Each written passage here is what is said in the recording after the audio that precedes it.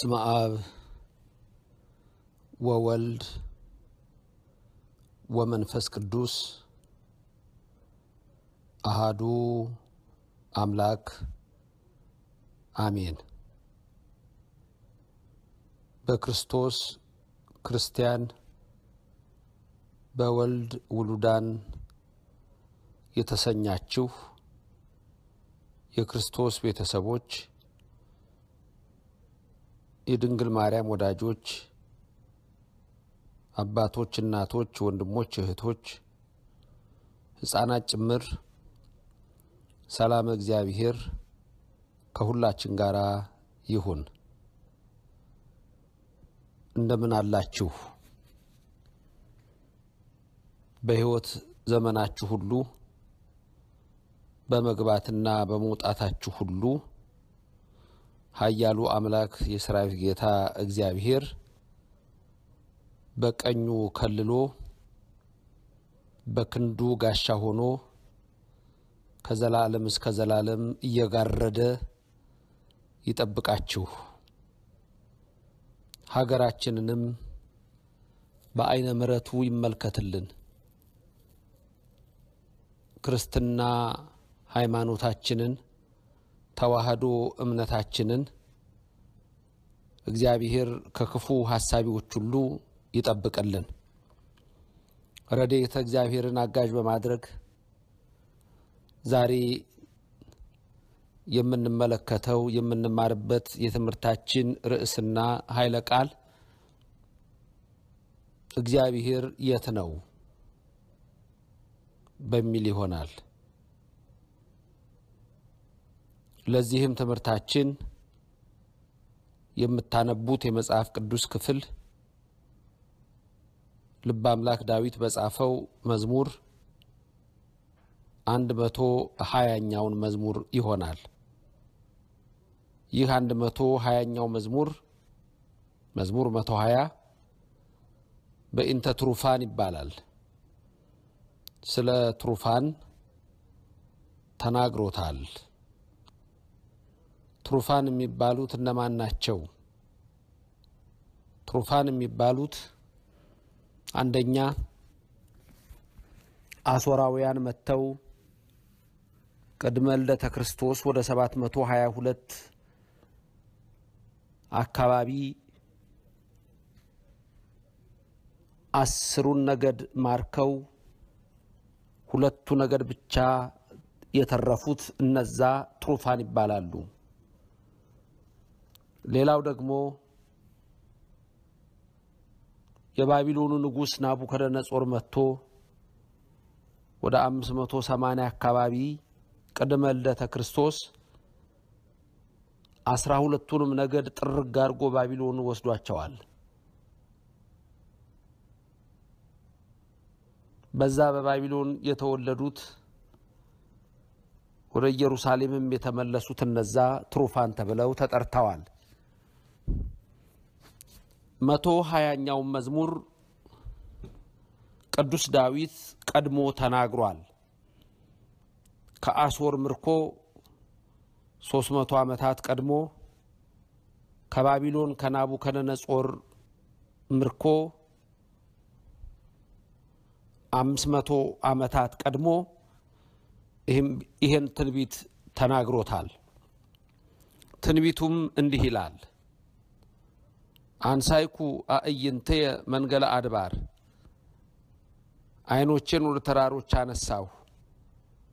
እማይቴ ይምጻ ረድኤትየ ረዳቴ ከወዴት ይምጣ? ረድኤትየሰ እምኀበ እግዚአብሔር ዘገብረ ሰማየ ወምድረ ረዳቴ ሰማይና ምድርን ከሰራ ከእግዚአብሔር ዘንድ ነው ይላል። እግዚአብሔር ረድኤታችን ነው። እግዚአብሔር ኃይላችን ነው። እግዚአብሔር በረከታችን ነው። እግዚአብሔር ጸጋችን ነው። እግዚአብሔር ብርታታችን ነው። እግዚአብሔር ጉልበታችን ነው። እግዚአብሔር መሸሸጊያችን ነው። እግዚአብሔር መጠጊያችን ነው። እግዚአብሔር ሕይወታችን ነው። እግዚአብሔር ፈጣሪያችን ነው። እግዚአብሔር አምላካችን ነው። እግዚአብሔር ንጉሳችን ነው። እግዚአብሔር መድኃኒታችን ነው። እግዚአብሔር የዘላለም አምላክ ነው። ስለዚህ ልበ አምላክ ዳዊት ስለ ትሩፋን ሲናገር ዓይኖቼን ወደ ተራሮች አነሳሁ እንዳለ የትምህርቴ ኃይለ ቃል ያደረግኩት እግዚአብሔር የት ነው በሚል ይሆናል። ታዲያ የት ነው የምንለው? ለምሳሌ አንድ ነገር ስንፈልግ እከሌ የት ነው ልንል እንችላለን። በራሳችን የት ነው እከሌ? የት ነች እከሊት? በምናችን ነው የምንፈልገው? በዓይናችን አየት አየት እናደርጋለን። እቃም ቢሆን የት ጋር ነበር ያደረግኩት እንላለን። በዓይናችን ነው የምናየው፣ በዓይናችን ነው የምንፈልገው። የምናነሳው በእጃችን ሊሆን ይችላል። ስለዚህ መሻት መፈለግ ዓይን ላይ ይታያል። ዓይን የነፍስ መስኮት ነው። ዓይን የልብ መስኮት ነው። ሁሉ ነገር በዓይን ውስጥ ነው የሚታየው። ዛሬ ወንጀል እንኳ ሲሰራ አንድ ወንጀል የሰራ ሰው ወዲያውኑ ከዓይኑ ነው በማሽን ይታያል፣ ዓይን ላይ ስለሚቀረጽ። ስለዚህ ዓይኑ ያስታውቃል እከሌ ይባላል። ይህ የልጅ ዓይኑ ያስታውቃል፣ ሞሽላቃ ነው ይሄ ልጅ ይባላል። በዓይን ይሄ ልጅ አስተያየቱ አላማረኝም ይባላል። ሴትዮ አስተያየቷ አላማረኝም ይባላል። ዓይን ላይ ብዙ ነገር አለ። ዋናው ግን የምንፈልገው ነገር በምንድን ነው የምንፈልገው? በዓይን ነው። ስለዚህ እግዚአብሔር የት ነው በሚል ኃይለ ቃል አሁን ስመጣላችሁ ክብር ምስጋና ይግባውና በልብ መታሰቡ በቃል መነገሩ ከፍ ከፍ ይበልና አሁን ድምፁን የምትሰሙትን ሁሉ ከነ ቤተሰቦቻችሁ በቅድስናው ይቀድሳችሁ፣ በበረከቱ ይባርካችሁ፣ በረድኤቱ ይጎብኛችሁና ይሄን እግዚአብሔርን የምንፈልገው በዓይን ነው። ልቡናም የሚታዘዘው አእምሮም የሚታዘዘው መጀመሪያ ዓይን አስተያየቱን ሲያስተካክል ነው። ብዙ ጊዜ ደጋግሜ የምገልጽላችሁ አንድ ነገር አለ። ስለ ቤተ ክርስቲያናችን ስርዓት በገጠር የሰጎን እንቁላል በቤተ ክርስቲያን ጣራ ጉልላቱ ላይ ይደረጋል። ለምንድን ነው የሚደረገው በዛ ላይ ለሚለው ብዙ ጊዜ ገልጬላችኋለሁ። ምክንያቱም የሰጎን እንቁላል የተደረገበት የዶሮ ያልተደረገበት ወይም ሌላ ያልተደረገበት ምክንያቱ ምንድን ነው? ሰጎን እንቁላሏ የሚፈለፈለው ከምታቅፈው በላይ በዓይኗ የምታየው ነው። ዓይኗን አትነቅልም። እንቁላሉን ሁልጊዜ ታየዋለች። ዞር ካለ ዓይኗ ይበላሻል፣ አይፈለፈልም፣ ሕይወት አይኖረውም፣ ከዛ ውስጥም አይወጣም። የሰጎን እንቁላል የተደረገው ከእግዚአብሔር እይታ ውጭ ከሆንን ከመንፈስ ቅዱስ እይታ ውጭ ከሆንን ፍሬ እንደማናፈራ መካን እንደምንሆን በረከት እንደማይኖረን ብናፈራ መራራ እንደሚሆን የሚጣፍጥ ፍሬ እንዳልሆነ ሐሞትና ከርቤ በመስቀል ላይ እንደሰጡት ለጌታ የማይጠጣው እንትፍ ብሎ የሚተፋው ስነ ምግባር ይኖረናል ማለት ነው። ስለዚህ ይሄ ስነ ምግባር የሚጠፋው እግዚአብሔር በረድኤት ሲለይ ነው። ይሄ እግዚአብሔር በረድኤት እንዳይለየን ደግሞ ሁል ጊዜ እግዚአብሔር የምናገኘው በጸሎት ነው። ዓይን ያልነው ጸሎትን ነው። ዓይን የሚነሳው ወዴት ነው? እግዚአብሔርን ማግኘት የምንችለው እንግዲህ በዚህ ነው። ስለዚህ ዳዊት ልበ አምላክ ምን አለ? አንሳይኩ አዕይንተ መንገለ አድባር ዓይኖቼን ወደ ተራሮች አነሳው። እምአይቴ ይምጻ ረድኤትየ ረዳቴ ከወዴት ይምጣ? ረድኤትየሰ እምኀበ እግዚአብሔር ዘገብረ ሰማይ ወምድር አለ። ረዳቴ ሰማይና ምድርን ከሰራ ከእግዚአብሔር ዘንድ ነው አለ። አንሳይኩ አዕይንቴ መንገለ አድባር ዓይኖቼን ወደ ተራሮች አነሳው። እንግዲህ እግዚአብሔርን ለማግኘት ዓይንን ወደ ተራሮች ማንሳት መንገለ አድባር አለው። ወደ ተራሮች ወደ የትኛው ተራራ? ይህንን ማወቅ ያስፈልጋል። ዝም ብሎ ተራራ ነው? ዓለም ላይ ትልቅ የተባለውን ተራራ እንፈልግ። በሀገራችን ትልቁ የተባለውን የራስ ዳሽን ተራራ ሄደን እዛ እናንሳ አይናችንን? አይደለም። ይሄ የታወቀ ነው። አይኖችን ወደ ተራሮች አነሳው ስንል በመጽሐፍ ቅዱስ ውስጥ በተራሮች ላይ ብዙ ምስጢሮች ተሰርተዋል። ከዚህ በፊትም ገልጬላችኋለሁ። አሁን አይኖቼ ወደ ተራሮች አነሳው ሲል ተራሮች የተባሉት እነማን ናቸው? ቅዱሳን ናቸው፣ ነቢያት ናቸው፣ ሐዋርያት ናቸው፣ ሊቃውንት ናቸው። እነዚህ ጻድቃን ናቸው። አይኖቼን ወደ ነቢያት፣ ወደ ሐዋርያት፣ ወደ ጻድቃን፣ ወደ ሰማዕታት አነሳሁ። ለምን? እግዚአብሔርን ለማየት ስለዚህ አይኖችን ወደ ተራሮች አነሳው ሲል ወደ ነቢያት፣ ወደ ሐዋርያት፣ ወደ ቅዱሳን ሰዎች አነሳሁ ማለት ነው። ሁለት አይኖቼ ወደ ተራሮች አነሳው፣ ወደ እግዚአብሔር ማደሪያ ተራሮች፣ ወደ ቤተ ክርስቲያን አይኖቼን አነሳሁ ነው። ወደ ታቦቱ አነሳው፣ ወደ መቅደሱ አነሳው፣ ተመለከትኩ ነው። መቅደስህን እመለከተዋለሁ ይላል ቅዱስ ዳዊት። እንባቆምም ይህንኑ ይላል። ዮናስ ነቢይም ይህንኑ ይላል። በባህር ውስጥ ሆኖ ወደ መቅደሱ መመልከት፣ ወደ እግዚአብሔር መመልከት። ተራሮች ደብረ ታቦር ተራራ ማቴዎስ 17 ላይ የምትዋት ደብረ ታቦር ተራራ እኮ ጌታችን ኢየሱስ ክርስቶስ የተገለጠባት ተራራ ናት። አነሳሁ አይኖቼን ወደ ተራራ። ሎጥን ምንድን ያለው? ሚካኤልና ገብርኤል ወደ ሰዶም ከተማ ገብተው ከተማዋን በገለበጡ ጊዜ ሎጥን ምን ነበር ያለው መልአኩ? ወደ ተራራው ሸሽተህ አምልጥ ነበር ያለው። ተመልከቱ። ተራራ ረቂቅ ምስጢር አለው። ተራራ የእግዚአብሔር መቅደስ የሚሰራበት ነው። ዛሬ በሀገራችን ብዙ ቦታ ቤተ መቅደስ ሲሰራ በተራራ ላይ የሚሰራበት ምስጢር ይህ ነው። ከፍ ያለ ቦታ ነው። ተራራ ላይ ሲወጡ ሁሉን ቁልቁል ማየት ይቻላል። ሲወጡ ያደክማል። ከወጡ በኋላ ግን ሁሉን ቁልቁል ያሳያል። ተራራ ተዋህዶ ናት። አይኖቼን ወደ ተዋህዶ ወደ ሃይማኖት አነሳው። ሃይማኖት ተራራ ምክንያቱም ሃይማኖት ተራራ አው ሲከተሏት ጹሙ ትላለች፣ ጸልዩ ትላለች። ጌታ ጠባብ መንገድ ያላት ለዚህ ነው። ኤርምያስ በስድስት አስራ ስድስት መልካም መንገድ ያላት ማለት ነች።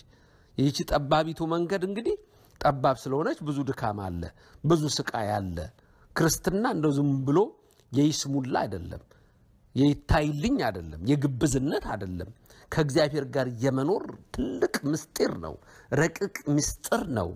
በቅድስና የመኖር ምስጢር ነው። እግዚአብሔርን ተስፋ የማድረግ ምስጢር ነው።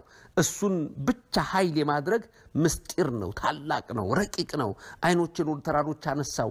ወደ እግዚአብሔር ስናነሳ አይናችንን እንግዲህ በቅዱሳኑ እግዚአብሔር እናየዋለን፣ በመቅደሱ እግዚአብሔር እናየዋለን፣ በተባረኩት እግዚአብሔር እናየዋለን፣ በነቢያት እግዚአብሔር እናየዋለን፣ በሐዋርያት እግዚአብሔር እናየዋለን፣ በሰማዕታት እግዚአብሔርን እናየዋለን። አይኖችን ወደ ተራሮች አነሳው። ምን ፍለጋ?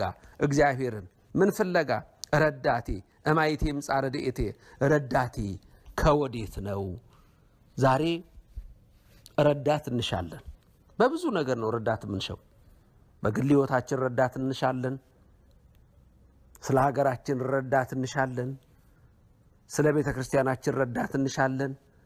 ስለ ሃይማኖታችን ረዳት እንሻለን። ስለ የዕለት የዕለት ኑሯችን ረዳት እንሻለን። ደግሞ ያስፈልገናል። ረድኤት ማለት ነው። አንድም በረከትም ማለት ነው። ረዳት የሚደግፈኝ፣ አዎ የሚደግፈን ያስፈልገናል። ብቻችንን አንችለውም። ጉዞውን አንችለውም። አድካሚ ነው። መሽቶ ሲነጋ ያደክማል። ይህ ዓለም ሊጥል ይታገላል። ያደክማል። በዚህ ውስጥ ረዳት ያስፈልገናል።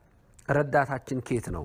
ረዳታችን ደግሞ ረድኤታችን ደግሞ ረድኤትየሰ እምኀበ እግዚአብሔር ዘገብረ ሰማየ ወምድረ፣ የኔስ እንጂ የኔ ረድኤት ሰማይና ምድርን ከሰራ ከእግዚአብሔር ዘንድ ነው አለ ትሩፍ።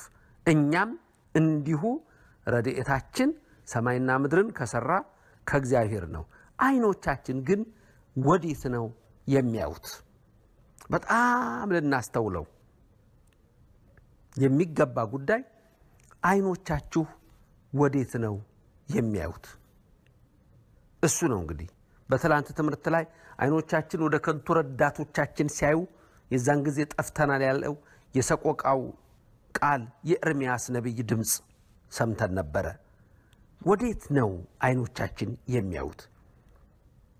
እስቲ ስለ ግል ሕይወታችሁን፣ ስለ ቤተሰቦቻችሁ ይሁን፣ ስለ ኑሯችሁ ይሁን፣ ስለ ጤናችሁ ይሁን አይኖቻችሁ ወዴት ናቸው?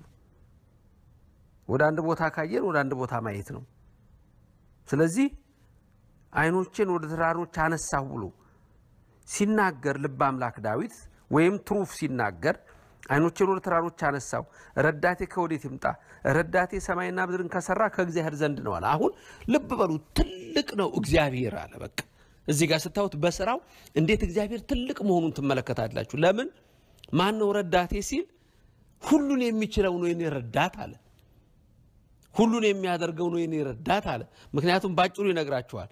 ረድኤት የሰ ማህበ እግዚአብሔር ዘገብረ ሰማይ ወምድረ ሰማይንና ምድርን ከሰራው ነው የኔ ረድኤት አላችሁ። እንግዲህ ሰማይን መስራት የሚችላል፣ ምድርን በውሃ ላይ ማጽናት የሚችላል፣ የሚታየውን የማይታየው መፍጠር የሚችላል እግዚአብሔር ብቻ ነው። ስለዚህ የኔ ረድኤቴ የኔ ረዳቴ የሚመጣው ሁሉን ከሚችለው ከእግዚአብሔር ዘንድ እንጂ ከሰው አይደለም ይላል ትሩፍ።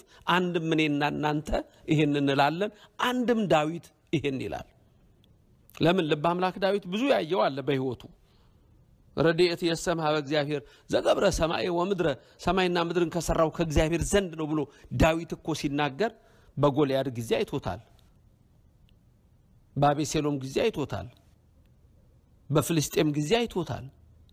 በግ እየጠበቀ በግል ሕይወቱ አንበሳና ነብር ሲመጣ እኮ አይቶታል። አንበሳና ነብሩን እኮ በእርግጫ በጡጫ ብሎ ይጥል ነበር፣ ይገል ነበረ፣ ግልገሎቹን ያስጥል ነበረ ዳዊት ይህን ኃይል የሰጠው ማን ነው? እግዚአብሔር ነው። የእኔ ረዳቴ እሱ ነው ነው ያለው። በቃ የእኔ ረዳቴ እሱ ነው። የእናንተ ረዳት ማን ነው ነው የሚላችሁ። ትሩፍም ይሄንን ነው የሚለው። ያወጣኝ እግዚአብሔር ነው፣ የመለሰኝ እግዚአብሔር ነው። ዓይኖችን ወደ ተራሮች አነሳው፣ መለሰኝና ከስደት ኢየሩሳሌም መቅደሱ ተራራውን አየሁት ነው የሚለው። የኔ ረዳቴ እግዚአብሔር ነው ይላል። ያንተ ረዳት ማን ነው? የኔ እግዚአብሔር ረዳቴ ኃይሌ ዝማሬ ነው ይላል ዳዊት። ያንቺ ረዳት ማን ነው? ማን ነው የእኛ ረዳት? ማን ነው የቤተ ክርስቲያናችን ረዳት? ማን ነው የሀገራችን ረዳት? ማን ነው የድኩማን ረዳት? ማን ነው የምስኪኖች ረዳት? ማን ነው ለተቸገሩ የሚቆም? ማን ነው ላዘኑ መጽናናትን የሚሰጥ? እግዚአብሔር ስሙ ለዘላለም የተመሰገነ ይሁን ወገኖቼ። ዘገብረ ሰማይ ወምድረ ሰማይና ምድርን የሰራው ነው አለ። ሰማይን ከነ ግሱ ነው የዘረጋው፣ ግስ ፀሐይ፣ ጨረቃ፣ ከዋክብት። ምድርን ከነ ልብሱ ነው የጸናው ያጸናው፣ ውኃ ላይ ነው ያጸናው፣ ከነ ሳሩ፣ ከነ ዛፉ፣ ከነ አበባው። ተመልከቱ። ስለዚህ የእኔ ረዳት ብሎ ሲነግራችሁ ሁሉን የሚችል ነው ይላል። የእናንተ ረዳት ሁሉን የሚችል ነው። በማን ነው የምትመኩት? በማን ነው የምትደገፉት? ማን ነው ረድኤታችሁ? ማን ነው ኃይላችሁ? እግዚአብሔር ነው በሉ። ለስም አጠራሩ ክብር ምስጋና ይግባው። አምላክ ነው በሉ። ለስም አጠራሩ ክብር ምስጋና ይግባው። እግዚአብሔር ነው በሉ። ለስም አጠራሩ ክብር ምስጋና ይግባው። በረድኤት በቸርነት ከኛ ጋር ይሁን። ሰማይን የዘረጋው እሱ ነው። ምድርን የመሰረተው እሱ ነው። ሌላ አለ? ንገሩኝ፣ ንገሩኝ እስቲ ሌላ አለ? ሰማይን የዘረጋ ሌላ አለ? ምድርን የመሰረተ ሌላ አለ? እንስሳትን የፈጠረ ሌላ አለ? አራዊትን የፈጠረ ሌላ አለ? በአርያውና በአምሳሉ ሰውን የፈጠረ ሌላ አምላክ አለ? ከአንዱ ከእግዚአብሔር በስተቀር ሌላ አምላክ አናውቅም። ዘጸአት ምዕራፍ 20 ቁጥር አንድ የተናገረው ይሄንን ነው።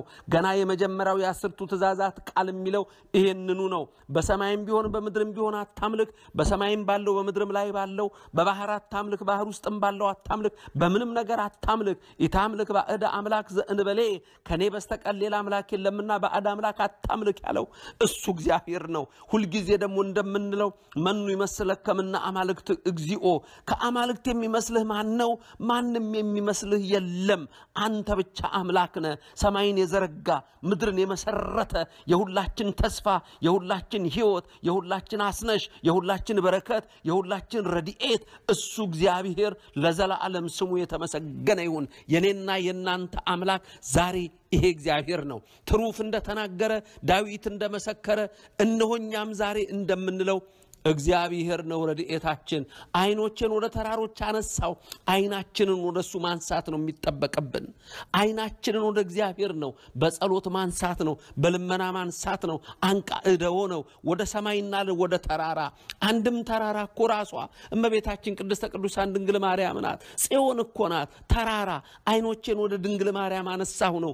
እነሆ አማልጅኝ ከልጅሽ ከወዳጅሽ የእናት ልመና ፊት አያስመልስ አንገት አያስቀልስምና ንጽሕተ ንጹሐን ክብርተ ክብር ክቡራን ልዕልተ ልዑላን ከተከበሩ የተከበርሽ ከፍ ካሉት በላይ ከፍ ያልሽ ንጽሕተ ንጹሐን ቅድስተ ቅዱሳን ምሊተ ክብር ምሊተ ውዳሴ መዝገበ ጸሎት አቁራሪተ መዓት ሰዓሊተ ምሕረት እማምላክ ወላዲተ አምላክ የነቢያት ተስፋቸው የሐዋርያት ሞገሳቸው የሰማዕታት እናታቸው የመላእክት እህታቸው። አንቺ ድንግል ማርያም ሰዓሊ ለነ ቅድስት ለምኝልኝ ከልጅሽ ከወዳጅሽ ስርጉት በቅድስና እመቤቴ ድንግል ማርያም በነፍስም በስጋም አንቺ ድንግል የሆንሽ የአምላክ እናት የሰማይና የምድር ንጉሥ የሆነ የኢየሱስ ክርስቶስ እናቱ እመብርሃን አንቺ ከልጅሽ ከወዳጅሽ አማልጅኝ ብለን አይኖቻችንን ወደ ተራራ ወደ ጽዮን ወደ ድንግል ማርያም ስናነሳ ሰማይና ምድርን የፈጠረው እግዚአብሔር ያኔ ረድኤታችን ይሆናል። ችግራችን አይኖቻችንን ወደ ተራሮች አናነሳም። ካነሳችሁ እሰየው። አብዛኛው ሰው ግን አይኖቹን ወደ እግዚአብሔር አላነሳም። በእግዚአብሔር መመካት ትቷል። ኦርቶዶክሱም ፌዘኛ ሆኗል፣ ቀልደኛም ሆኗል፣ አሿፊም ሆኗል።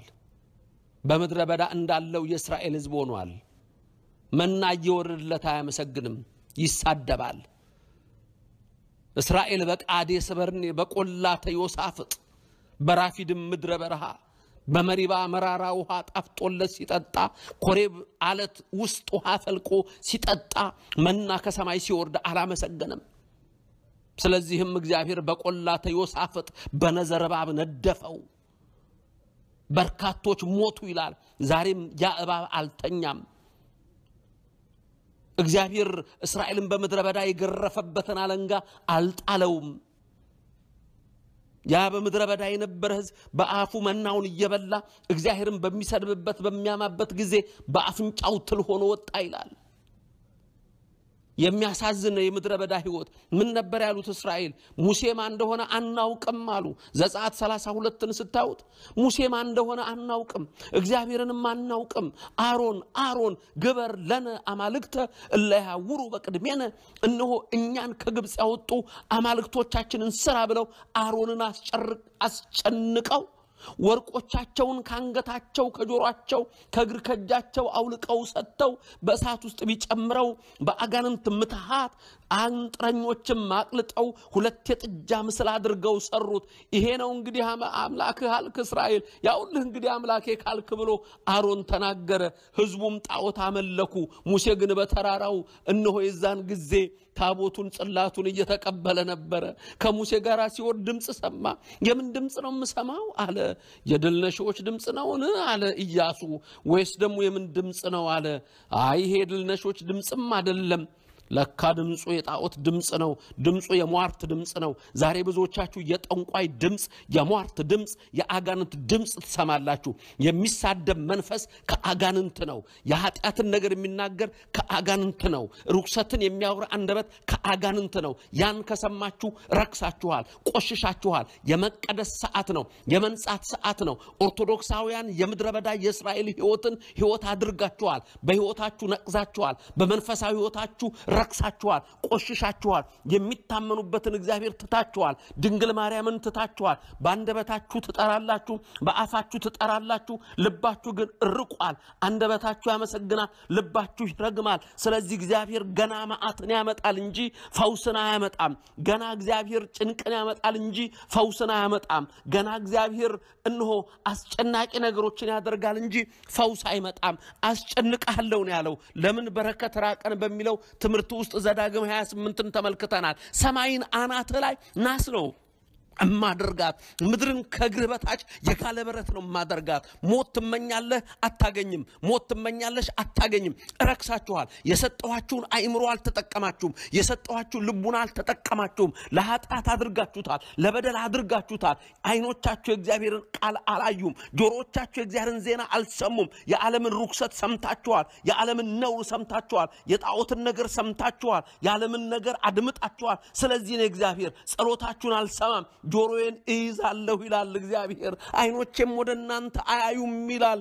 እነሆ የምድረ በዳ የእስራኤል ሕይወት ዛሬ በኦርቶዶክሳውያኑ ጭምር ነክሶ ነው ያለው። የመናፍቃኑ ባህሪ የተጋባባችሁ፣ የአላውያን ባህሪ የተጋባባችሁ ብዙዎች አላችሁ።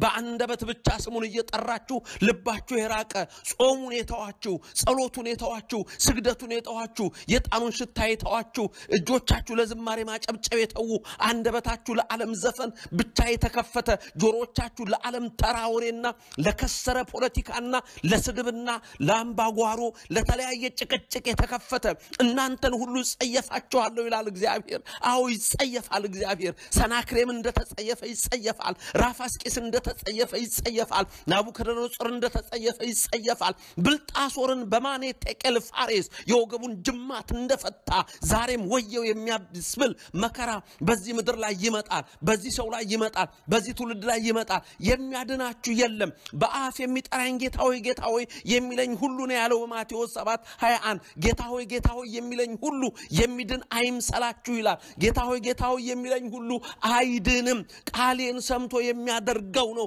ስለዚህ ዛሬ ይሄ ትውልድ መራራ ትውልድ ሆኗል። አይኖቹን ወደ እግዚአብሔር አላነሳም። አይኖቹን ወደ ተራሮች አላነሳም። አይኖቹን ወደ ነቢያት አላነሳም። አይኖቹን ወደ ሐዋርያት አላነሳም። አይኖቹን ወደ ሰማዕታት አላነሳም። አይኖቹን ወደ ቅዱሳን አላነሳም። አይኖቹን ወደ በረከት አላነሳም። አይኖቹን ወደ ድንግል ማርያም አላነሳም። አይኖቹን ወደ ሰማይ አምላክ አላነሳም። ስለዚህ የምድር ይፈልጋል፣ ምድሩ ይጥለዋል። የምድሩን ባለስልጣን ይመካል፣ አብሮት ይወድቃል። በባለስልጣን የሚመኩ ሁሉ የሚወድቁና እግዚአብሔርም የሚጸየፋቸው ናቸው። አይኖቻችሁ ምን እያዩ ነው? ጆሮቻችሁ ምን እየሰሙ ነው? ከሚመጣው መከራ ታመልጡ ዘንድ እናንተ የእፉኝት ልጆች ማን ማን ነገራችሁ? አደለ ያለው ጌታ በዮሐንስ መጥምቅ አድሮ ዮሐንስ መጥምቅ ለፈሪሳውያኑ ያላቸው ይህንን ቃል አይደለም? እናንተ የእፉኝት ልጆች ከሚመጣው መከራ ታመልጡ ዘንድ ማን መከራችሁ? ማን ነገራችሁ አላቸው። ለንስሐ የሚገባ ፍሬ አድርጉን ያላቸው የንስሐ ሕይወት አለ። አይኖች ወደ ሰማይ ናቸው።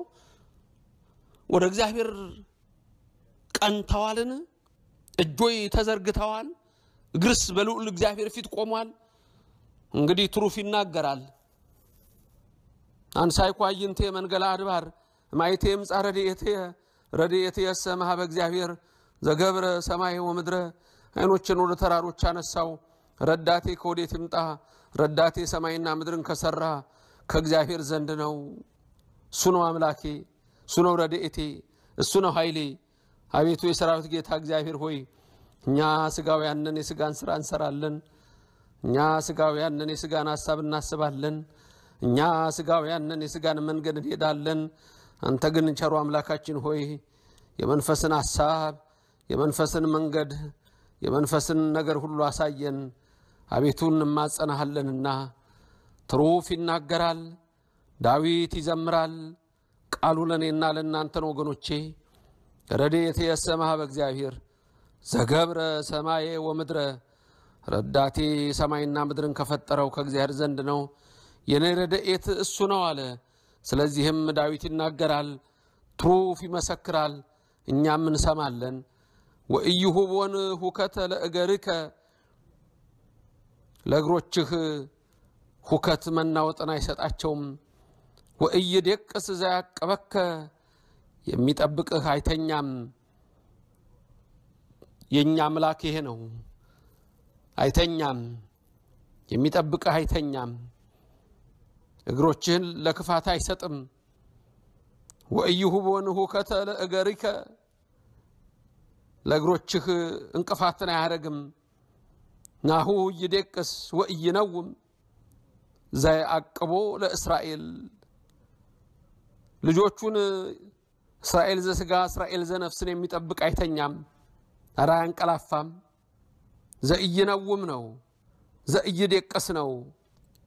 አይተኛም፣ አያንቀላፋም። እሱ ነው ረድኤቴ፣ እሱ ነው የሚጠብቀኝ። ይከልልሃል። እግዚአብሔር እሱ በቀኝ እጁ ይጋርድሃል። ፀሐይ በቀን አያቃጥልህም፣ ጨረቃም በሌሊት አይቀዘቅዝህም። ፀሐይ በቀን አያቃጥልህም፣ ጨረቃ በሌሊት አይቀዘቅዝህም ሲል ከቀን ወራሪ ከሌሊት ሰባሪ በሌሊትም በቀንም ይጠብቀሃል። እግዚአብሔር ከክፉ ሁሉ ይጠብቀሃል። ነፍስህንም ይጠብቃታል። ስጋህን ብቻ አይደለም፣ ስጋችንም ብቻ አይደለም ወገኖቼ፣ ነፍሳችንንም ይጠብቃታል። እሱ ነው ረድኤታችን። የት ላግኝ እግዚአብሔርን? የት ነው ያለው እግዚአብሔር? እግዚአብሔር በቅዱሳኑ ላይ ነው። እግዚአብሔር በነቢያቱ ላይ ነው።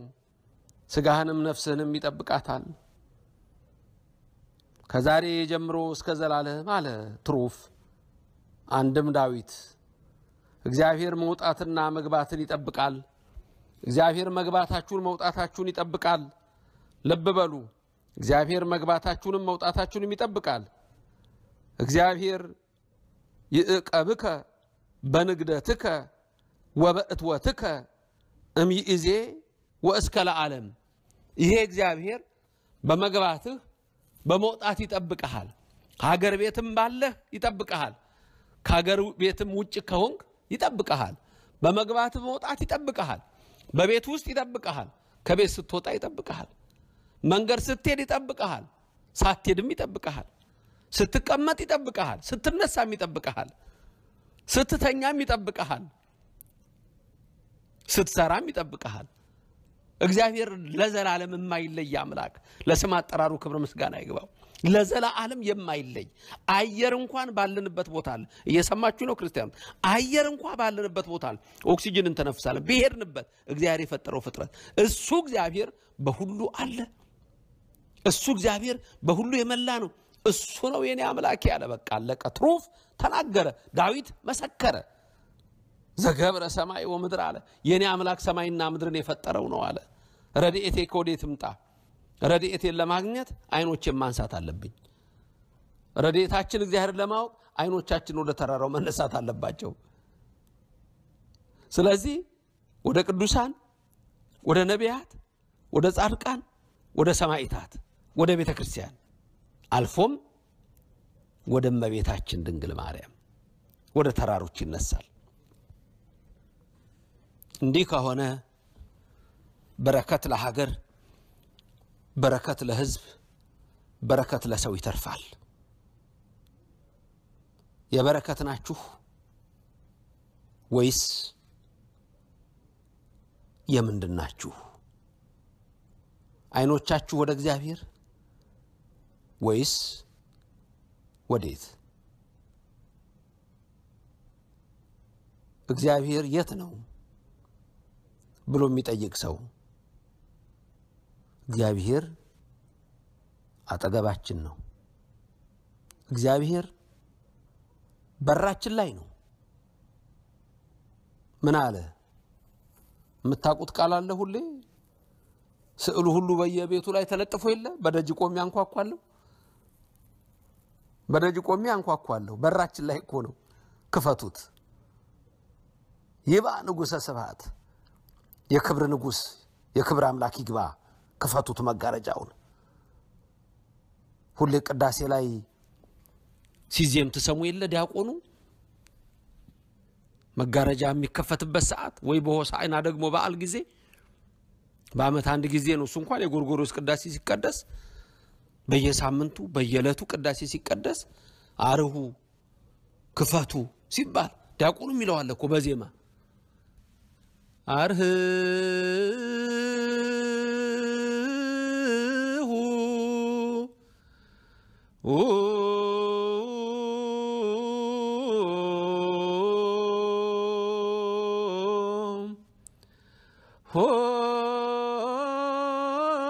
ሆሃተ መኳንንት እናንተ መኳንንት በሮቻችሁን ክፈቱ። ሰማችሁ? መኳንንት ተብላችሁ ነው የተጠራችሁት። የተከበራችሁ ተብላችሁ፣ የተቀደሳችሁ ተብላችሁ በክርስቶስ ደም ከብራችኋል። በስጋው ደሙ ከብራችኋል። በጸጋው ከብራችኋል። በረድኤቱ ከብራችኋል። በማይቆጠረው ቤዛነቱ ከብራችኋል። የተገዛችሁት ዝም ብሎ በሆነ ዋጋ አይደለም ማለት በደም ነው የተገዛችሁት፣ ያውም በአምላክ ደም በኢየሱስ ክርስቶስ ደም እናንተ ክርስቲያኖች። ስለዚህ አይኖቻችን ወዴት ናቸው? ወዴት እናንሳቸው? ወደ ማይነሱ ማንን ይመልከቱ? እግዚአብሔር የሚነግረን ይህንን ነው። ትሩፍ የሚነግረን ይህንን ነው። ዳዊት የሚመሰክርልን ይህንን ነው። የት ነው ያለው እግዚአብሔር? በርህ ላይ ነው፣ በርሽ ላይ ነው። ደግሞ በራችሁ ላይ ሄዳችሁ እንዳትፈልጉ። ልብህ ላይ ነው፣ ልብሽ ነው። ቤት ልብ ነው። ገባችሁ? አሁን የታደላችሁ መኳንን ተብላችሁ የተጠራችሁ ቅዱሳን ቅዱሳት ተብላችሁ የተጠራችሁ የተባረካችሁ የተቀደሳችሁ የተባላችሁ በጎቼ ብሎ የጠራችሁ ድምፄን ይሰማሉ ያላችሁ በር ላይ ነኝ አንኳኳለሁ፣ በሩን ክፈቱልኝ፣ ድምፄን ይሰማሉ እንዳለ በዮሐንስ ወንጌል ምዕራፍ አስር ላይ በጎቼ ድምፄን ይሰማሉ አውቃቸዋለሁ እንዳለ እነሱም ያውቁኛል እንዳለ ድምፁን ሰምተን እንከተለው። የማን ድምፅ ነው የምንከተለው? የኢየሱስ ክርስቶስን ድምፅ ነው ዛሬ የምንከተለው ወይስ የዲያብሎስን ድምፅ ነው? ኦርቶዶክሳውያን ደግሜ ደጋግሜ የምነግራችሁ የምድረ በዳ ሕይወት ወርሷችኋል። እንውጣ ከምድረ በዳ ሕይወት፣ እንላቀቅ ከምድረ በዳ ሕይወት። በተጣመሙ ሰዎች አስተሳሰብ፣ በተወላገዱ ሰዎች አስተሳሰብ በተበላሸ ፖለቲካ አስተሳሰብ እናንተም የክርስቶስ የሆናችሁት መንገዳችሁን እንዳስቱ ራሳችሁን ጠብቃችሁ ትኖሩ ዘንድ ይህን ዓለም አትምሰሉ በሚል ያስተማርኩትን ትምህርት እንደገና መስማት ይኖርባችኋል። የማን ድምፅ ነው የምንሰማው? የት ነው እግዚአብሔር? ነገረን እኮ ድምፁም የሱ ነው። እኛ በጎቹ ነን። የእረኛችን ድምፅ የክርስቶስን ድምፅ እንሰማለን። ደግሞ እሱ ነፍሱን ስለኛ ያኖረ እኮ ነው። እረኛ እኮ ሌላው እኮ እረኛ በጉን እኮ ከአውሬ የሚከላከለው ሌላው እኮ እረኛ ከአራዊት ፍየሉን ሌላውንም የሚጠብቀው እኮ መጨረሻ እኮ አርዶት ሊበላው ነው። ኢየሱስ ክርስቶስ ግን መልካሙ እረኛ ኖላዊ ኄር እኮ እኔን ብሉኝ፣ ስጋዬን ብሉ፣ ደሜን ጠጡ እኮ ነው ያለው። የዘላለም ሕይወት ታገኛላችሁ ነው ያለው። መልካሙ እረኛ የት ነው ያለው? በር ላይ በር ቤት ይከፈት ልብ ላይ ልብ ላይ ነው ነገሩ ያለው። ዓይናችን ወደ ሰማይ ሲነሳ ልቡናችን ሲከፈት ያኔ እግዚአብሔርን እናገኘዋለን። ስለዚህ ልቡናችን ላይ ነው ነገሩ ያለው። አንኳኳለሁ ሲል የውጭ በር አይደለም። ይሄን ማንም ያውቃል። ልብ ነው የሚንኳኳው እና ክፈቱ አለ። አንዳንድ ጊዜ ቤቱ ሰው ከሞላው ሌላ ይገባል እንዴ? ተዘጋ እኮ በቃ ሞላ ይባላል እኮ ቤቱ ይዘጋል። እየሰማችሁኝ ነው? ሌላ ገብቶበታላ። ብርጭቆውን ከሞላችሁት በኋላ ሌላ ነገር እንሙላ ብትሉት ይሆናል ይፈሳል እንጂ። ልባችን ውስጥ ማን ያለው? በልባችሁ ውስጥ ምን አለ? በጥንት ጊዜ የማስታውሰው አንድ መጽሐፍ ነበረ፣ ሰውና ግብሩ ይላል። አባቴ በሕፃንነቴ ብዙ ጊዜ ያስነብበኝ ነበረ። ያም ነው መሰለኝ ባለፈው በረቀቀ ፍልስፍና አስተሳሰብና በሃይማኖትና በሳይንስ እይታ ሰው ምንድን ነው የሚል መጽሐፍ ለመጽሐፍ ትምህርቱንም እንድማር የረዳኝ ያ ከልጅነቴ አባቴ ያሳየኝ ነገር ነው መሰለኝ። በዛ በሰውና ግብሩ ላይ ግን ያለው ነገር ነው ትዝ የሚለኝ። በአንድ ሰው ልብ ውስጥ በአንድ ሰው ጭንቅላት ውስጥ ምን እንዳለ፣ በአንዳንድ ሰው ልብ ውስጥ አንበሳ አለ፣ በአንዳንድ ሰው ልብ ውስጥ ነብር አለ፣ በአንዳንድ ሰው ልብ ውስጥ እባብ አለ። እንዴት ነው የሚገባው ጌታ? እንዴት ነው የሚገባው? ተይዟላ ቦታው ሳጥናኤል ነግሶበት ዙፋኑን ይዞ እስከሚወገድ ድረስ እንዴት ነው ክርስቶስ የሚገባው? እናንተ ናችሁ እኮ ወግድ ብላችሁ ሰይጣንን እምቢ በሉት ከእናንተ ይሸሻል፣ እግዚአብሔርን እሺ በሉት ወደ እናንተ ይቀርባል ብሎ ሐዋርያው እንደተናገረ እኮ ልባችን ሲከፈት እኮ ነው። አንበሳው እኮ ትዕቢት ነው። ከኔ በላይ ማን አለ? ማን አለብኝነት። ዛሬ ብዙዎችን የሚያጠፋው ይሄ መንፈስ ነው። አንበሳው ነው የብዙዎችን ልቡና ቀይሮ እኔ ነኝ በስልጣን ወንበር ላይ ሲቀመጥ እኔ ነኝ፣ የሆነ ነገር ሲደረግ እኔ ነኝ የሚል አንበሳ ህይወት። ሌላው የነብር ህይወት ነው። ዘሎ የማነቅ በማይገባው መግባት፣ የነብር ባህሪ፣ የመዋጠጥ ባህሪ። አንዳንድ ሰዎች ዛሬ ሲዋጠጧችሁ ነው የሚውሉት። አልመች ብሏቸው ነው እንጂ እነዚህ የሚዋጧችሁ ይገሏችኋል። ይቧጥጣሉ። የነብር ባህሪ ነው ያላቸው። ጥፍር አላቸው። ይቧጥጣሉ፣ ያስጨንቃሉ። ድሃውን ምስኪኑን ያስጨንቁታል። የእባብ ባህሪ ደግሞ ያላቸው አሉ። ተናዳፊዎች፣ የማይታወቅባቸው ስርስሩን እየሄዱ እግር የሚነድፉ መርዛቸውን የሚረጩ እንዲህ አይነት ትውልዶች አሉ። ይሄ ሲወጣ ነው ኢየሱስ ክርስቶስ የሚገባው። ይሄ ደግሞ የሚወጣው በንስሐ ሕይወት ነው፣ በቅድስና ሕይወት ነው። አይኖቻችን ወደ ተራሮች ሲነሱ ነው። ያኔ አይኖቻችን ሲነሱ ለጸሎት ስንቆም ሰይጣን መግቢያ ያጣል፣ ይለቃል ቦታውን። ንጉሡ ኢየሱስ ክርስቶስ ይቀመጥበታል። ስለዚህ ወገኖቼ የት ነው እግዚአብሔር? ልባችን ተተከፈተ አጠገባችን ነው እግዚአብሔር። እንኳን እግዚአብሔር አየር አጠገባችን አለ ብያችኋለሁ። ስለዚህ እግዚአብሔር አምላክ እርሱ በበረከት እንዲጎበኘን ካስፈለገ ስለ ሀገርም በሉት፣ ስለ ቤተ ክርስቲያንም በሉት፣ ስለ ግል ሕይወታችሁም በሉት፣ ስለ ጤንነታችሁም በሉት፣ ስለ ኑሯችሁም በሉ፣ ስለ ትዳራችሁም በሉ፣ ስለ ልጆቻችሁም በሉ፣ ስለ ምንም ነገር እግዚአብሔር ያገባዋል። ሁሉንም ደግሞ ንገሩኝ ነው ያለው። ማቴዎስ 11 28 ሸክም የከበዳችሁ ወደ እኔ ኑ እኔ ሸክማችሁን አቀለዋለሁ ነው ያለው። ይሄን ሸክምን ግን እንዲያስወግድልን ወደ እሱ ካልሄድን ማን ነው ሸክሙን የሚያስወግድልን? አይኖቼን ወደ ማን አንሳ? ወደ ባለስልጣን፣ ወደ ዋይት ሃውስ፣ ወደ ዋሽንግተን፣ ወደ እንግሊዝ፣ ወደ ቻይና፣ ወደ ማን አንሳ አይኖቼን ወደ ፖለቲካ ባለስልጣናት ለነከሌ ፓርቲ ለማላንሳ አይኔን ወደ ለነከሌ ፓርቲ። አዎ ፖለቲካ እኮ የሚጠቅም ነገር ነበረ፣ የማይጠቅሙ ሰዎች ይዘውት እንጂ። ፖለቲካ እኮ የሰው ልጆችን ሕይወት ለመለወጥ ነበር ሳይንሱ የተሰራው። ዳሩ ግን አጥፊዎች፣ ከንቶች ይዘውት ሕዝብን ሲያስጨንቁበት ይኖራሉ እንጂ ዓለም እንዲህ ተጨንቃ ተጠባ ያለችው በክፉዎች ሰዎች ነው። እናንተ ግን አይኖቻችሁን ወደ እግዚአብሔር ካነሳችሁ ስለ ትሩፋን ተናግሮታል ብያችኋለሁ። መዝሙር መቶ ሀያ ላይ ነው።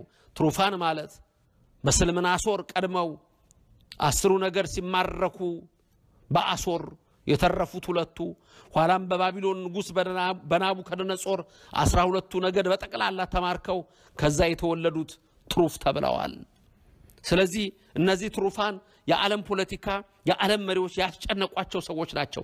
ዛሬ ኦርቶዶክስ ተዋሕዶ ምዕመናን በተለያየ መልኩ የሚያስጨንቁ ሰዎች አሉብን። ከእግዚአብሔር ውጭ ማንንም ልታምኑ አትችሉም። ማንንም በከንፈሩ ያመሰግናል፣ በልቡ ይረግማል። ስለዚህ ተስፋችን ትሩፍ እንደሚነግረን ረድኤት የሰ ማህበ እግዚአብሔር ዘገብረ ሰማይ ወምድረ አለቀ። ሰማይና ምድርን ከሰራው ከእግዚአብሔር ዘንድ ነው የኔ ረድኤት። እሱ ደግሞ የሚመጣው አይን ሲነሳ ነው። ዝም ብሎ አይመጣም። እግዚአብሔር ስንጠራው ነው የሚመጣው። ግዕዛን ሰጥቶናል። አእምሮ ጸባይ ሰጥቶናል። ይህንን ነገር በልባችን አስቀምጧል።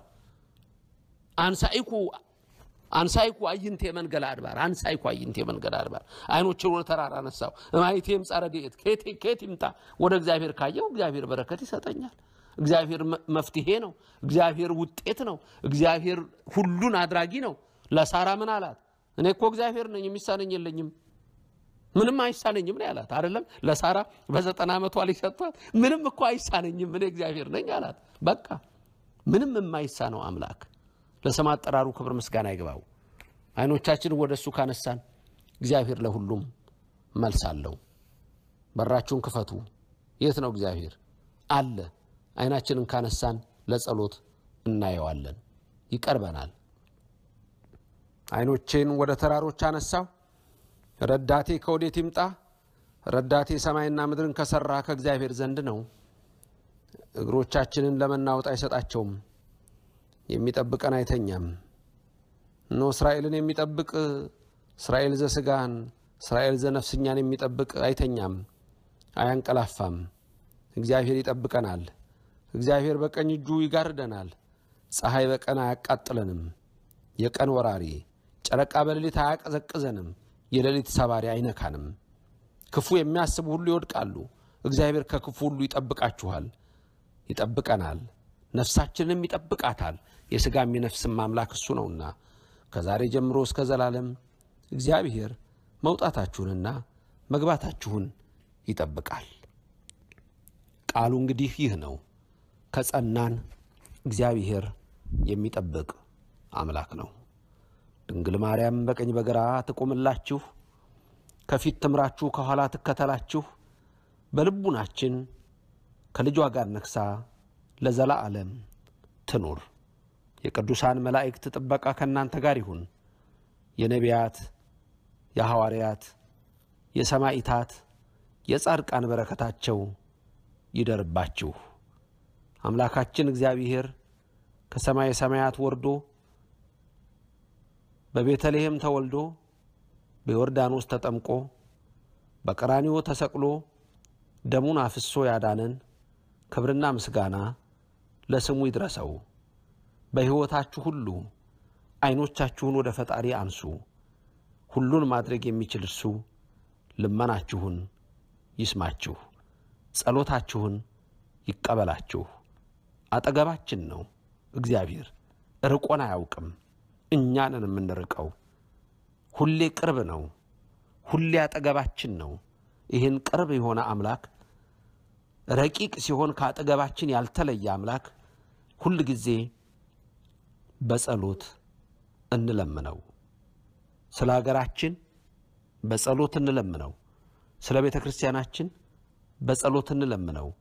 ስለ ተዋህዶ ሃይማኖታችን በጸሎት እንለምነው። ስለ ኦርቶዶክስ ርቲት ሃይማኖታችን በጸሎት እንለምነው።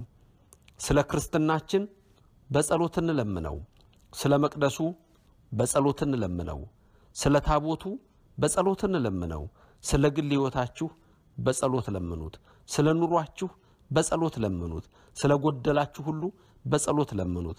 እግዚአብሔር እርሱ ሁለቱን ዓሣ አምስቱን እንጀራ ያበረከተ አምላክ ያን ቅዱስ እጅ በቤታችሁ ይላክላችሁ።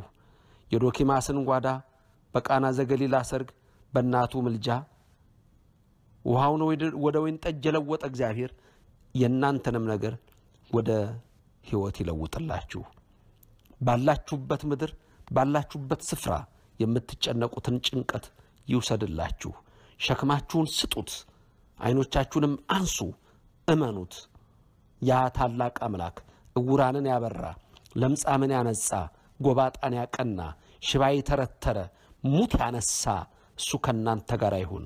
የሚያሻችሁን የሚያስፈልጋችሁን ሁሉ ያውቃልና በቤታችሁ ይሙላ። በጸሎት ግን ጽኑ። ከዓለም ርኩሰት ራቁ። ከዓለም ተረት ሽሹ። ከምንፍቅና ተጠበቁ። ከከንቱ አስተሳሰብም ሰውነታችሁን ጠብቁ። መሥዋዕት ሆናችሁ ለእግዚአብሔር የታቦቱ ማደሪያ የእግዚአብሔር ማደሪያ ራሳችሁ እናንተ የተቀደሳችሁ የእግዚአብሔር ስም ያለባችሁ የቅዱሳን ስም ያለባችሁ ናችሁና በዛ ጸንታችሁ ኑሩ። የእግዚአብሔር ረድኤቱ የቅዱሳን ሁሉ ጸጋቸው ለዘላለም በእናንተ ላይ አድሮ ይኑር። እግዚአብሔር የት ነው? እዚህ ነው። አጠገቤ ነው። በልቤ ነው። በሁሉ የሞላ ነው። እርሱ ሰላምን ይሰጠኛል። አሜን። የአብ ጸጋ የወልድ ቸርነት የመንፈስ ቅዱስ ኅብረት አንድነት በእኔ በባሪያው ላይ በእናንተም በሁላችሁ ይሁን። በጸሎት አስበን ብላችሁ እኔን ታናሽ ወንድማችሁን የተማጸናችሁ ሁሉ እሱ እግዚአብሔር በማይዘነጋ ልቡናው ያስባችሁ፣ ስማችሁን በቀለመ ወርቅ በሰማይ ይጻፍላችሁ፣ የሚያስጨንቃችሁን ከእግራችሁ በታች ይጣልላችሁ፣ ጤና ለሌላችሁ ጤና፣ በረከት ላጣችሁ በረከት እግዚአብሔር ያድላችሁ፣ ከነዘመዶቻችሁ ከክፉ ሁሉ ይሰውራችሁ። አሜን። እግዚአብሔር ይባርካችሁ፣ ይቀድሳችሁ፣ ፊቱንም ያብራላችሁ። እግዚአብሔር ይባርካችሁ፣ ይቀድሳችሁ፣ ፊቱንም ያብራላችሁ። ልዑል እግዚአብሔር ይባርካችሁ፣ ይቀድሳችሁ፣ ፊቱንም ያብራላችሁ። አሜን።